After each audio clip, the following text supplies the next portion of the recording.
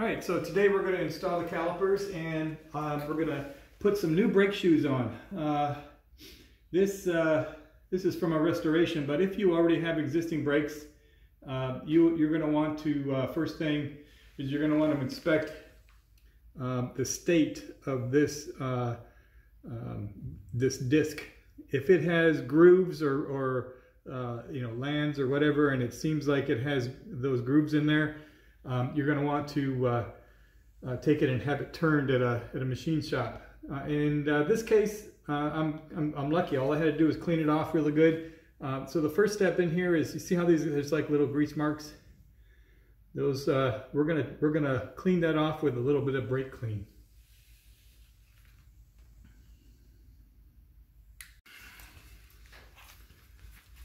All right, so when you're doing the brake clean, make sure you have a rag ready because this stuff evaporates really quick.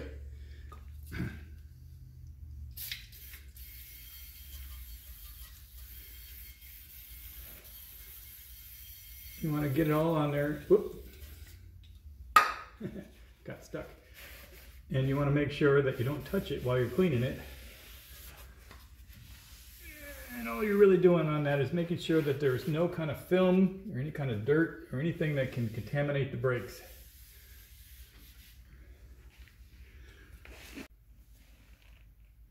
All right, so once you're satisfied that that surface is nice and clean, we're gonna go ahead and start putting those calipers together.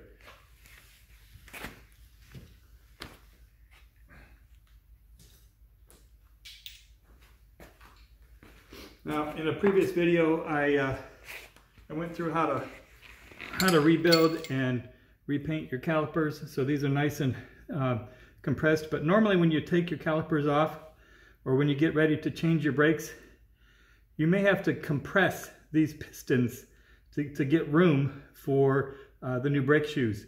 Uh, you can do that with a with a C-clamp um, or uh, a, a, piece of wood. Um, any way that you can get in there without you know damaging any of the seals. But uh, basically, um, in order to make room for those brake shoes, you may need to push these pistons back into their spots. So let's hang this thing.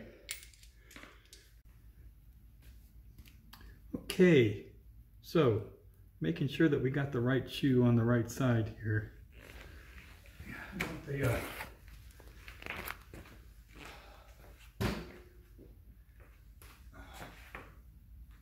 Here we go. I had the wrong caliper there. All right, so you want the uh, uh, the access port to be on the top for the um, uh, the brake line here. I'm gonna lightly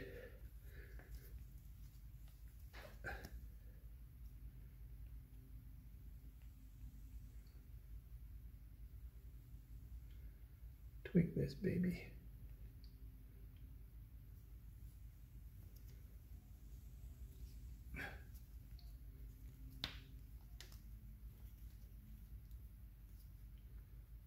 All right.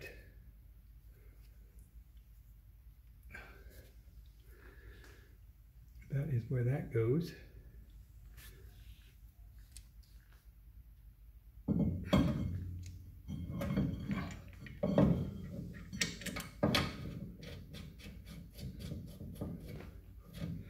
Whoops.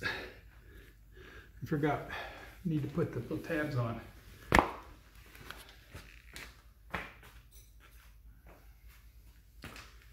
Okay, so uh, on the inside of these calipers, I have a little uh, device that goes underneath these, these bolts, right? And you put these on and then you bend these tabs up. And the idea behind that is it'll keep the, the those bolts from backing off. So let's get that done first.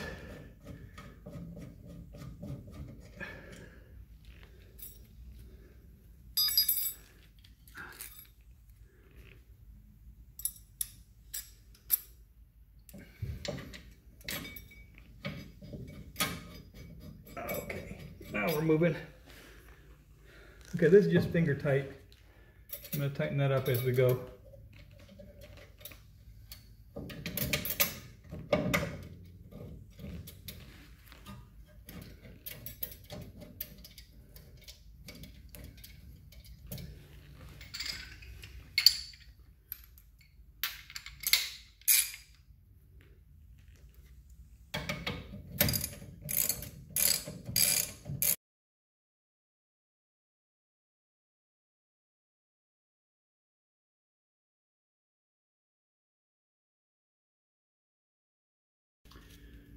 Okay, those bolts are to be torqued to uh, 45 foot-pounds max, 40 to 45 foot-pounds. Let's see if I can get my torque wrench in there.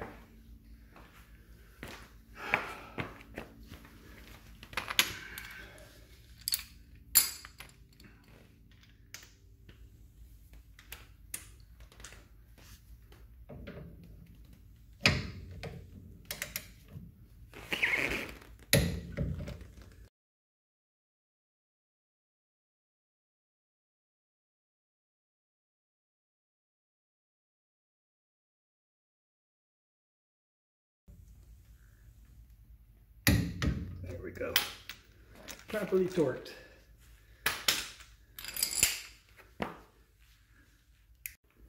All right, let's see if we can bend those tabs. You get back in there, you can see them really well. Right here, you can just give them a tap. A screwdriver and a hammer action.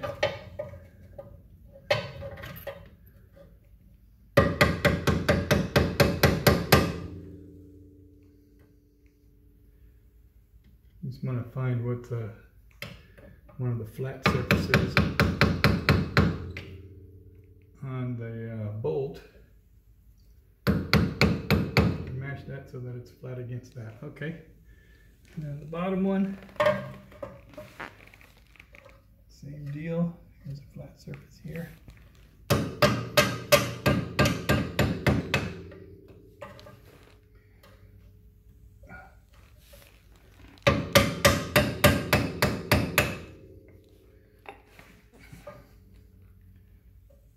Okay.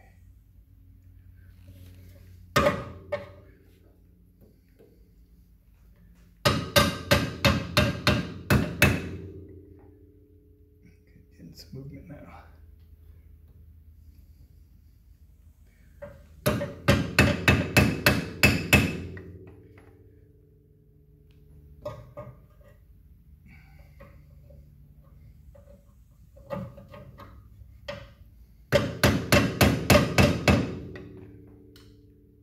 Okay, that'll lock that in place. That's not going anywhere. All right, so let's go ahead and put these shoes in. Now the trick with these shoes is, um, I don't know if you've ever been in a car and when you put the brakes on, you hear a little, ee, a little squeak or something. And what happens with that, and again, you have to be careful not to touch the, uh, uh, the surface here. You're trying to keep that as clean as you can. But what happens with that is the brake caliper rides on the on these outside edges and the piston pushes inside on these edges. And so what happens is uh, over time that's metal on metal and it just moves a little bit. And that little squeak is enough to be annoying to most people. Um, and so what we're going to do here is we're going to put a little bit of lubricant on there. This stuff is uh, um, it's uh, moisture proof. It's, uh, uh, it's it won't wash off and it's um, it's also, you know, it resists the heat of the brakes. So you just get a little packet of this stuff. It's really cheap. You don't have to buy a whole bunch. And uh, we're going to apply it in the places on where the piston is going to touch and on the ends here where the caliper, where, where it kind of sits in the groove for the caliper up in there. Um, and then we're going to just use this little tab on the end here and slide them babies right in there. Um, and then we'll get to, uh, to the next little piece here. So let's go ahead and lube these up and see if we can get these to hang without needing any kind of tape or anything.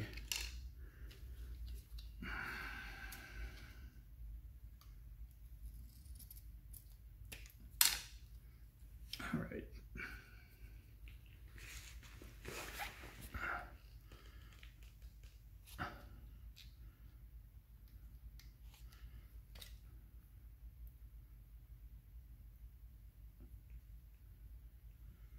just kind of around where that piston's gonna go. And then we'll put a little, little touch on the ends where it's gonna sit around the caliper. Okay. I'm trying not to touch the outside edge now that I got greasy fingers. All right, slide that baby in there. One in. Okay.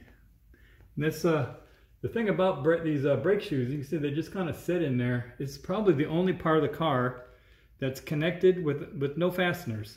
Um, it just uh, it just kind of floats in there uh, between these retaining pins. Which I'll show you in a minute how those screws go on. I'm gonna go ahead and lube this one up.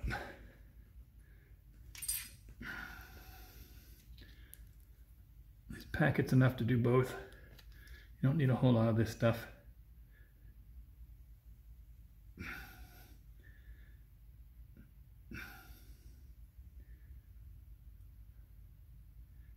On the ends where the calipers got the touch.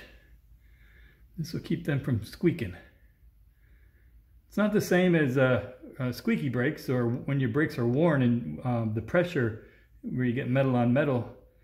Um, it's not the same kind of squeak. It's just uh, when you get to the end, if you hear that little creak, a little creak at the end, all you need is a little lubricant in there and that stuff, uh, that, that noise will go away. All right, let's slide this one in there. Like a champ. Okay, so uh, the fasteners uh, to hold those in place are basically just these little springs. Um, you can see these, uh, you uh, order up these spring kits. I'll put a, a link in the description. Uh, these little springs are, they're asymmetrical. They have a, a long tab and a short tab the long tab will go toward the, the middle. So on the top it'll lay like this, on the bottom it'll lay like that. And uh, these springs will uh, actually be a, a, good telltale when um, when you get to the point where you're getting low on uh, on life on your brakes. Um, but you can see I have a little channel on the back right here. That's where this baby's going to go. It's going to lay right across there, go right through this hole and just lays across there and holds that in place. So let's go ahead and set this in.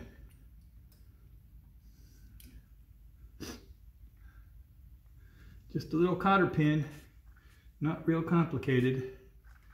That sets that, that one in place. And again, on the bottom, you want the long tab inward. lay this one in here. The cotter, cotter pin goes across the top boink, just like that. We'll grab a pair of pliers and we'll bend those down and we'll tighten up this connector.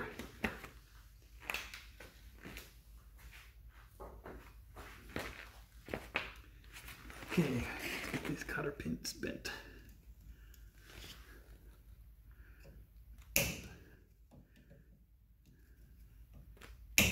Oh, need a little heftier pair of pliers. Manley pliers. Here we go.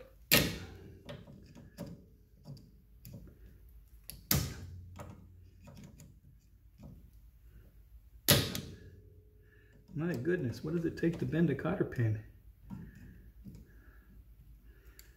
Okay, let's have a, let's see if we can get this cotter pin to bend.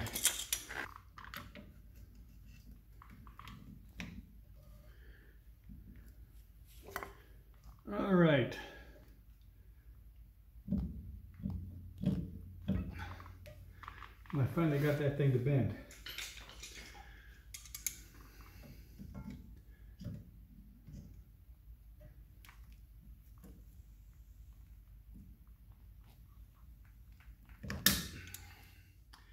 That is not going anywhere. All right, so let's see if we can learn our lessons on this one.